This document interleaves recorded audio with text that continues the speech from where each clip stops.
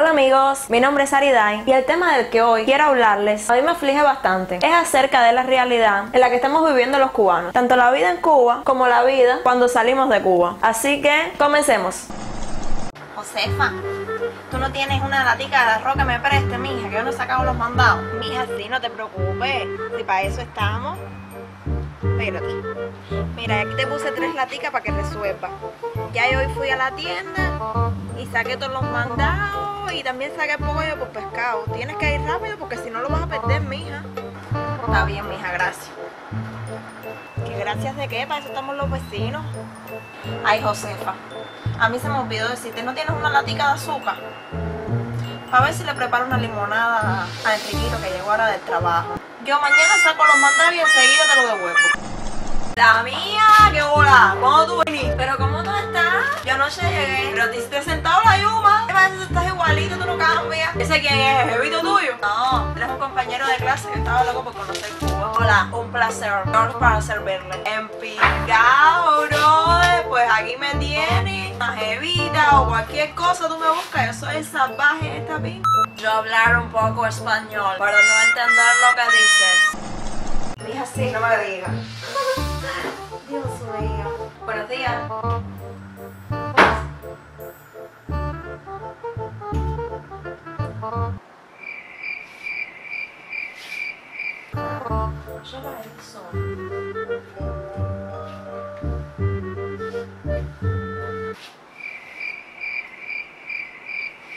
Mira, te voy a dejar que aquí llegó una mujer a ver qué quiere. Dale, hablamos.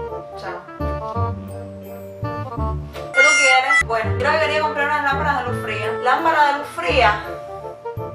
Te voy a revisar ahí atrás a ver si queda.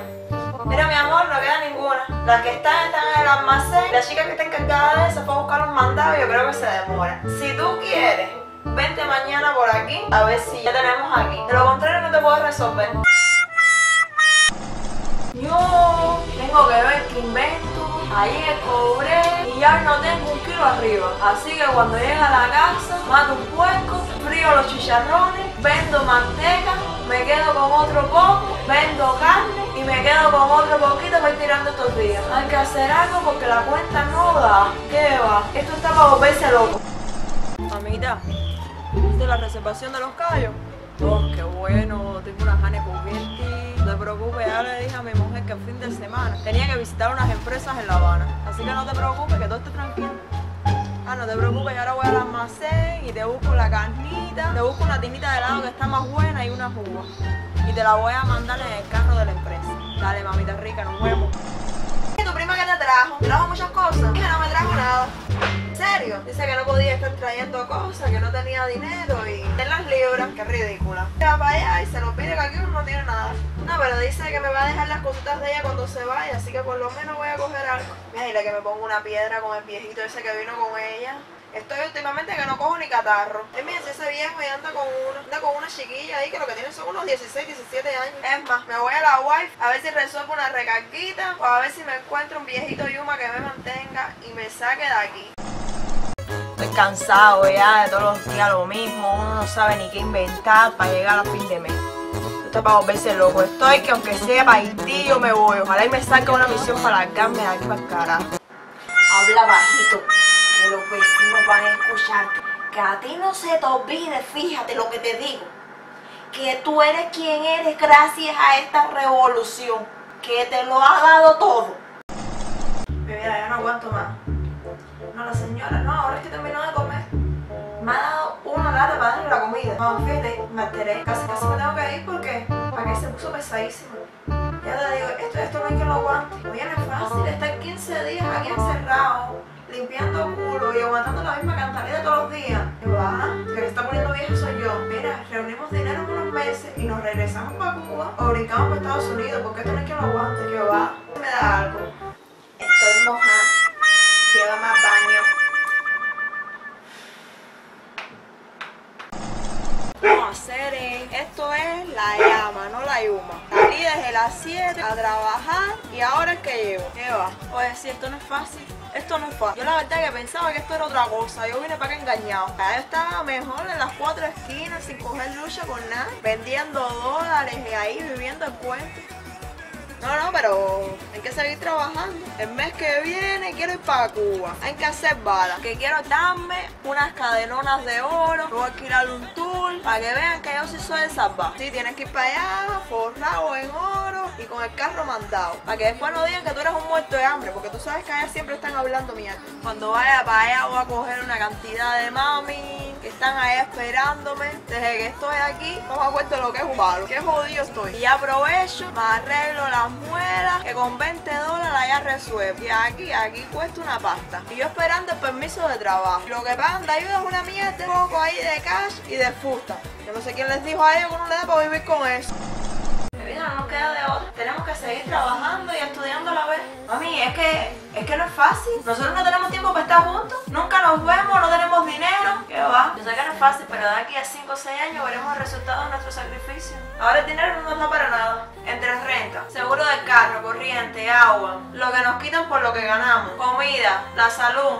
Nos quedamos sin nada, esto es lo comido por lo servido. Pero de aquí a 5 o 6 años todo va a cambiar. Yo sé que tú tienes razón en lo que tú dices. Todo es un sacrificio. Pero oye, que no es fácil. Y lo más lindo, este año tenemos que ir a Cuba. ¿Sí o sí? ¿Qué vamos a hacer? Tendremos que vender las libras porque la cuenta no da. Y encima en Cuba, todo el mundo quiere recarga para los celulares. Allá se creen que los cheques te entran así por debajo de la cuenta, no sé. Yo no sé la verdad. Pues amigos, esto no es más que la realidad en la que estamos envueltas. Nuestra sociedad está enferma y tenemos que curarla. Por supuesto que hay mucho más que contar, pero tendría para hacer un documental y no un video. Hace días publiqué en mi Facebook mi opinión acerca de este tema relacionado con la muerte de Fidel. Y una amistad de primaria me escribió que gracias a Fidel yo era quien soy. Entonces, tengo que darle las gracias a Fidel por haberme enseñado a leer y escribir, a Zapatero por haberme hecho ciudadana española, a Rajoy por haber tenido salud sin haber pagado un céntimo el tiempo que estuve en España y a Obama por abrirme las puertas de los Estados Unidos y darme una ayuda cuando llegue. Así funciona el mundo. Tenemos que agradecerles a los gobernantes por ser quien somos. ¿Dónde queda nuestro sacrificio? El de nuestra familia. Cuba se encuentra dividida por ideologías diferentes. Los comunistas, los anticastristas y los que están en un término medio, que no quieren involucrarse en política, no opinan, solo quieren mejorar sus condiciones de vida para ellos y para su familia. Es que tenemos cosas más importantes en común que esas mismas diferencias. Todos somos cubanos, todos amamos nuestra tierra, todos queremos una mejor vida, todos queremos una democracia, todos queremos que se respeten nuestros derechos humanos, todos queremos un cambio. Vamos a unirnos, empecemos cambiando por nosotros mismos, no más peleas entre nosotros. ¿O qué nos falta? ¿Sacar una pistola y cargarnos a todo aquel que piensa diferente a nosotros? ¿En qué nos estamos convirtiendo? Rescatemos valores que se han quedado perdidos en el tiempo. Aprendamos a escuchar, a respetar, recuperemos los modales. No hay nada más lindo que llegar a un lugar y ser bien atendido. Que te digan buenos días, que se te ofrece, en qué te puedo ayudar, perdón, gracias. porque esto se ha quedado atrás totalmente? Cuidemos nuestra ciudad. ¿Por qué nuestra Cuba tiene que estar tan sucia y deteriorada? Hagamos conciencia de limpieza. Salvemos nuestro idioma. Si Cervantes resucita, vuelve de cabeza para su tumba. Ya no más rencor entre nosotros, no más orgullo, no más violencia. Llegó la hora de cambiar. No sigamos por el mismo camino que no nos ha llevado a nada bueno. Ya lo dijo Arjona. Donde manda el orgullo, siempre reina la desgracia. Y los cubanos que están en Cuba no vivan engañados. No se crean que vivir fuera es estar en el paraíso. Hay que trabajar muchísimo. Tienes que pagarlo todo, absolutamente todo. La pasas muy mal, tienes que estar solo. No vas a tener un vecino que te eche la mano si lo necesitas. Así que al que no le guste trabajar, que no venga. Si no se la va a pasar llorando con que esto es la llama y no la yuma. Y en cubita que no te va a faltar el techo, no te va a faltar la salud y no te va a faltar el plato con arroz y huevo frito. A este país se viene a trabajar, a estudiar y a emprender, no a vivir del Estado y que te mantenga. Revolución no es cambiar todo lo que debe ser cambiado. Pues comencemos, no desperdiciemos más el tiempo. Citando de nuevo a mi querida Arjona, la historia es larga y la vida es corta. Así que comencemos a rescatar nuestra Cuba. Chao.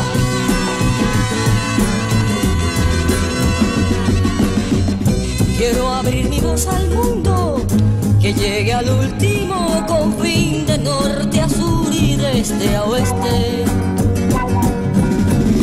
Y que cualquier hombre pueda